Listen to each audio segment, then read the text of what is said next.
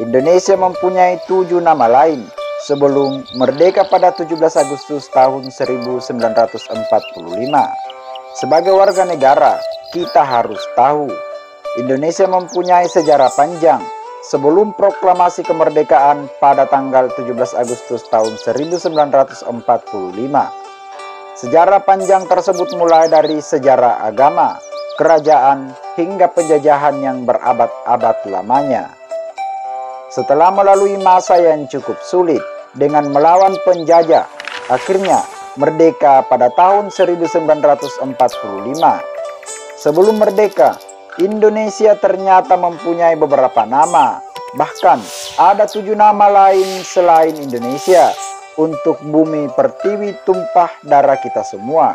Dikutip dari Bondowoso Network, berikut nama Indonesia sebelum masa kemerdekaan hingga kini. Yang pertama ada Dwi Pantara. Nama Indonesia pertama kali adalah Dwi Pantara. Nama ini terdapat dalam catatan kuno bangsa India. Seperti kita ketahui, dahulu Indonesia mempunyai banyak kerajaan Hindu dan agama Hindu berasal dari India. Hindu masuk ke Indonesia pada 78 Masehi.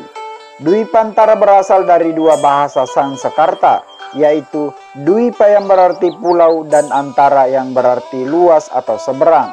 Sehingga Dwipantara berarti kepulauan tanah seberang. Yang kedua, Nusantara.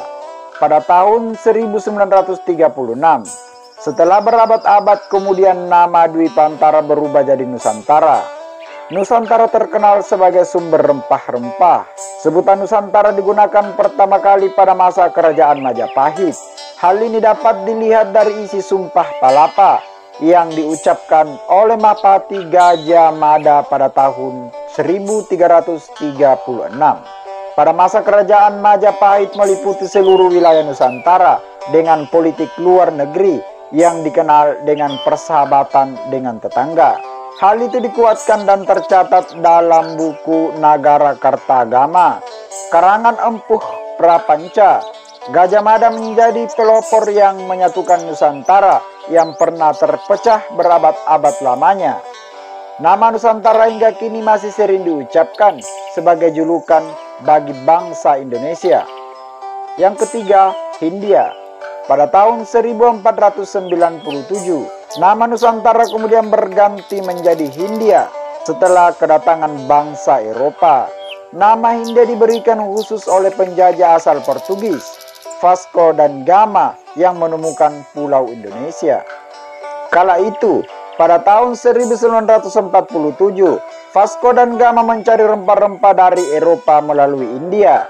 Kemudian menemukan gugusan kepulauan yang diberi nama Hindia karena berbatasan dengan Samudera Hindia. Yang keempat, Hindia Belanda. Pada tahun 1596, Bangsa Belanda datang ke Hindia hingga menaklukkan Hindia, sehingga nama Hindia berubah jadi Hindia Belanda. Penambahan kata Hindia sebagai penegasan bahwa Hindia adalah Indonesia kini, wilayah kekuasaan Belanda. Yang kelima adalah Insulinde. Tahun 1860, seorang penulis ternama Belanda bernama Does Dekker mengusulkan nama baru karena jijik mendengar nama Hindia Belanda. Hal ini karena Belanda telah membuat perlakuan buruk terhadap warga Indonesia, sehingga nama Hindia Belanda mendapatkan stigma buruk di mata internasional. W.S. Dekker pun juga sering mengkritik perlakuan penjajah Belanda pada rakyat Indonesia, sehingga mengusulkan nama baru yakni Insulinde. Insulinde sendiri berasal dari kata insul, yang berarti kepulauan. 6. Kepulauan Melayu di tahun 1869, seorang penjelajah asal Inggris mempopulerkan sebuah nama baru untuk Insulinde yaitu Kepulauan Melayu.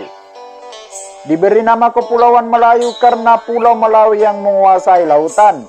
Wilayah yang masuk Kepulauan Melayu tidak hanya Indonesia, tapi juga Singapura dan Malaysia. Yang ketujuh, Tu Indo. Pada tahun 1942, Indonesia dikuasai oleh Jepang. Selama penjajahan Indonesia bernama Tu Indo, yang dalam bahasa Jepang berarti Hindia Timur. Selama masa kekuasaan Jepang, Nama India dipakai secara resmi untuk menamakan wilayah taklukannya dari 1942 hingga 1945. Kedelapan, pada tahun 1945, bangsa Belanda yang masih berusaha menguasai kembali Indonesia setelah berakhir kedudukan Jepang tetap menamai Indonesia dengan sebutan Hindia Belanda. Berkat perjuangan rakyat dari Sabang sampai Merauke, Hindia Belanda merdeka pada tahun 1945 dan memakai nama Indonesia secara resmi sebagai nama negara yang kita cintai saat ini. Nama Indonesia sebenarnya ada sejak tahun 1850 yang diperkenalkan oleh James Richardson Logan dan George Samuel ilmuwan asal Inggris. Keduanya menyebut kepulauan Hindia dengan sebutan Indonesia dalam majalah ilmiah tahunan mereka yang terbit di Singapura berjudul The Indian Archipelago and Eastern Asia di tahun ini, nama Indonesia diperkenalkan kemudian dipakai hingga saat ini. Nama Indonesia berasal dari dua suku kata bahasa Yunani, yaitu Indus yang berarti Hindia dan Nesos yang berarti kepulauan. Sehingga Indonesia berarti kepulauan Hindia.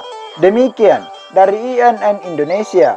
Success for you all and see you on top.